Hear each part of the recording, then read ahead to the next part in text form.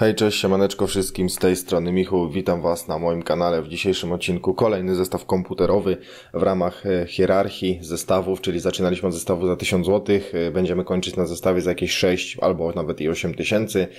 E, no i ostatnio był zestaw za 1500 zł, teraz będzie zestaw za 2000.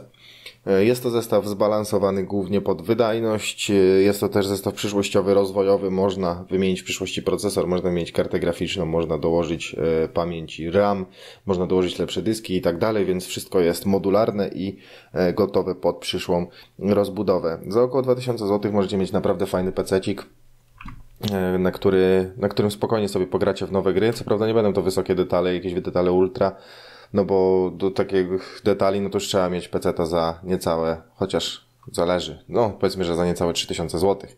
Więc za 2000 jest to zestaw, na którym spokojnie sobie pogracie w przyzwoitych warunkach w nam rozdzielczości Full HD. E, generalnie jak jeszcze e, tak poruszę taką sprawę na szybko, e, jak widzicie mało filmów się pojawia, wiecie, że pracuję w Warszawie i tak dalej, więc no też nie mam dostępu zbytnio do swojego komputera, ale też jak przyjeżdżam na weekend, mam strasznie dużo roboty w domu i ciężko mi się w ogóle za coś zabrać, więc dzisiaj jest niedziela, godzina 12 i dla Was nagrywam, bo e, no po prostu nie miałem czasu, kiedy e, nie miałem czasu wcześniej. W ogóle to kupiłem sobie nowy fotel komputerowy, IKEA Markus, no ale nie, nie, to nie jest IKEA Markus widzowie, tylko naprawdę jest to fotel z Juska, który przypomina, praktycznie jest identyczny jak IKEA Markus, a kosztuje nawet mniej niż połowę ceny, bo był na promocji i powiem Wam, że wczoraj się złożyłem i naprawdę wygodnie się siedzi. No i pokażę Wam go kiedyś tam na vlogu. Znaczy, no myślę, że niedługo. To też sobie zobaczycie, ale musiałem Wam o tym opowiedzieć, bo e, zawsze to jak coś wymieniam u siebie komputerowego, to muszę dać Wam o tym znać. E, więc no, to tak z takich ciekawostek, co się tam u mnie dzieje. E, no i będę Wam jeszcze tam pokazywał na vlogach, co się e, zmienia. Ale to dobra, bo powiecie, że za dużo pierdzielę w tym filmie, a film miał być o czym innym, więc zaczynamy.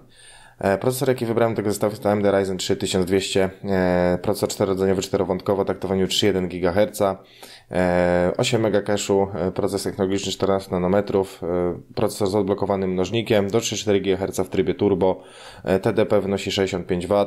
Procesor naprawdę dobry, przede wszystkim odblokowany mnożnik to jest bardzo duża zaleta tego procesora, można sobie go spokojnie podkręcić nawet na boksowym chłodzeniu. Co prawda Ryzen 3 1200 jest to procesor chyba, który najsłabiej się podkręcał, razem z Ryzenem 7000 700 chyba bodajże, o ile, o ile się nie mylę. No nie są tutaj jakieś wygórowane wartości do osiągnięcia, tak jak już w poprzednim e, filmie mówiłem, chociaż nawet nie w poprzednim, tylko gdzieś tutaj nie, no w poprzednim chyba od zera do powera, e, że podciągnięcie tego procesora 4 GHz, no nie jest to taką częstą wartością, więc możemy poprzestać, że na 3,8 GHz się raczej większość sztuk zakończy.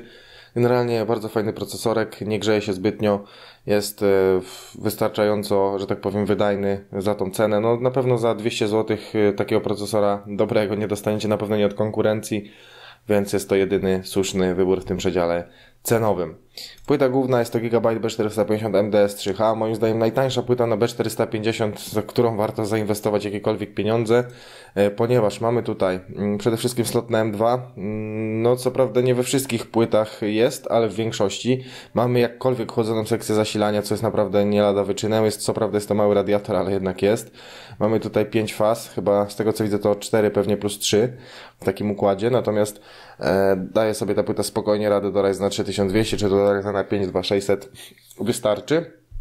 Mamy 4 banki na pamięć RAM DD4, 4 e, porty SATA 3 e, oczywiście, no i oddzieloną ścieżkę dźwiękową od laminatu płyty poprzez właśnie taki przez taką, taką ścieżkę, można to tak powiedzieć. No i mamy radiator na chipsecie, taki symboliczny. Generalnie płyta, jak, jeżeli chodzi o sam wygląd tej płyty, no nie jest zbyt piękna, chociaż dosyć ciekawie wyglądają te takie zarysy tutaj, ale to też każdego sprawa gustu. Najważniejsze są te cztery sloty na pamięci RAM, najważniejsze, że sekcja jest jakkolwiek chłodzona i że sobie ta płyta daje radę z mocnymi, mocniejszymi procesorami niż tylko Ryzen 3200. Dodatkowo, jeżeli chodzi o panel wejść, wyjść na płycie, no to mamy 8 portów USB, z czego 4 są USB 3.0, e, mamy e, kartę dźwiękową zintegrowaną, mamy e, kartę sieciową zintegrowaną, gigabitową oczywiście, mamy dwa e, wyjścia wideo, czyli HDMI oraz DVI, e, no i PS2 na starą i klawiaturę. Generalnie to już złącze, którego się nie używa od X lat.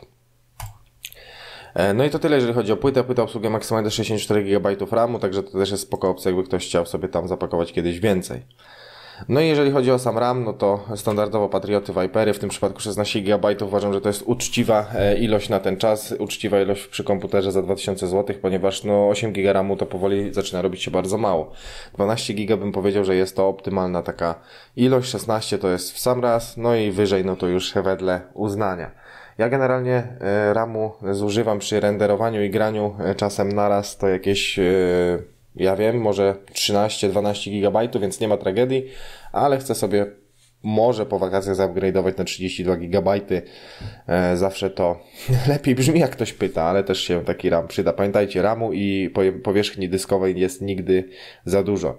RAMu możecie mieć wciul, wciul, wciul, wciul, wciul, tak samo jak i e, pojemności, tak jak i dysków w komputerze i tak dalej, więc moim zdaniem jest to rzecz, które, e, rzeczy, które powinniście, powinniście mieć w kompie najwięcej, czyli na przykład pojemność pamięci. No i 3000 MHz, tak jak mówię, jest to, e, mówiłem nie raz, jest to minimalna wartość dla Ryzena. E, dwa moduły, czyli Dual Channel, to również dodaje kopa e, pamięci CL16 1,35V standardowo, e, czy tam 1,2V nawet chyba. E, standardowe pamięci 16 giga myślę, że raczej będziecie e, z tej ilości pamięci zadowoleni. No, w zestawie za dwa koła no, ciężko jest upchnąć e, większy, więcej RAMu, więc też zazwyczaj większość zestawów, które pewnie widzicie za dwójkę, to mają 8 giga, tutaj jednak macie 16, więc wow. Ale coś kosztem czegoś, do czego zaraz przejdę, czego kosztem jest ta większa ilość pamięci RAM. E, karta graficzna XFX Radeon RX 570, 8 GB OC, bardzo fajna karciocha, jedna z najtańszych RX-ów 570 na ten czas dostępna. Akurat to jest, nie wiem dlaczego tu mi się trafiła wersja w 8 GB pamięci, ale, ale, ale to, nie, to, nie, to nie jest ta wersja chyba, zaraz wam powiem jeszcze dokładniej, bo coś mi tutaj śmierdzi, że tutaj 8 GB mi się wskoczyło. E, dajcie mi minutę. A jednak to jest wersja 8 GB, proszę bardzo, za 679 zł. Oho, nawet nie wiedziałem, że taką wersję udało mi się utrafić. E, no to fajnie, fajnie, swoją drogą. E, co prawda wersja 4 GB jest e, chyba ciut tańsza, ale na Morelu niewielka jest różnica z tego co widziałem, aż muszę to zaraz zweryfikować i ewentualnie Wam napiszę w komentarzu pod tym filmem, jaka jest różnica między czwórką a ósemką, ale aż to dziwne, że nie zwróciłem na to uwagi, że to 8 giga, no ale dobra. W każdym razie zmieściliśmy się w budżecie, więc to nawet lepiej. Co prawda 8 GB nie wykorzystacie na tej karcie przy rozdzielczości Full HD. Może już bardziej ja bym wykorzystał przy swoim 2560 na 1080, czyli tym ultra wide'em. Natomiast, y, tak jak mówię, no, karcioszka naprawdę w porządku, dwa wentylatory, dosyć cicha z tego co czytałem, nie wiem, nie miałem jej nigdy przy sobie. Mm, też nie jest zbyt piękna z wyglądu, y, ale ma za to dużo y, wyjść wideo. Co ciekawe, ma DVI, to też już nie jest takie oczywiste, trzy razy DisplayPort i raz HDMI, więc to jest tak często spotykane. No i zawsze te 8 GB pamięci to lepiej, jak macie na przykład dwa monitory, nie? I na przykład gracie sobie na jednym, a na drugim oglądacie coś, albo jakąś muzyczkę z YouTube'a sobie puszczacie, to ta pamięć graficzna jest zużywana również na ten drugi monitor, więc też te 8 giga się sprawdza. Jeżeli chodzi o samego RX 570, to sam chip, no to jak sami dobrze wiecie, sam posiadam RX 570, tylko w wersji od GB. Jestem bardzo zadowolony z tej karty. E, spełnia moje wymagania w 100%, no może w 90%, bo trochę mocniejsza karta czasem też by się przydała, ale mi się gra bardzo przyjemnie. Naprawdę jest e, to karta e, warta swojej ceny. Ja akurat zapłaciłem za swoją chyba 500 coś złotych, więc to trochę taniej, ale no to było już praktycznie półtora roku temu, można powiedzieć. Nie, no półtora to nie, bo ja ją kupiłem w grudniu 2018 chyba, no to trochę mniej niż półtora. No i generalnie jestem bardzo zadowolony, nie grzeje się, jest cicha i, i da się grać w to, co chce.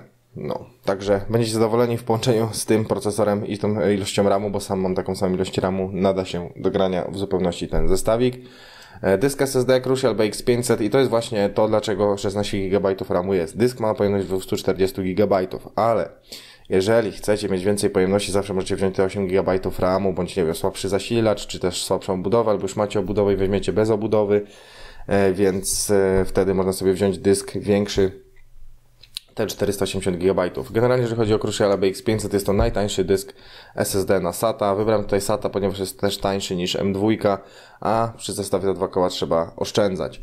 Generalnie najlepszy tani dysk chyba, jaki możecie kupić BX500. Sam, jeżeli będę kupował teraz SSD, bo też takie małe upgrade'y sobie w kompie szykuję pomału, chciałbym graficzkę zmienić, chciałbym zmienić, e, dołożyć dysków SSD i, e, i tak jak wcześniej powiedziałem, tego RAMu ale to są oczywiście odległe plany, na razie nie mam na to funduszy zbytnio, e, więc muszę się zadowolić tym, co mam.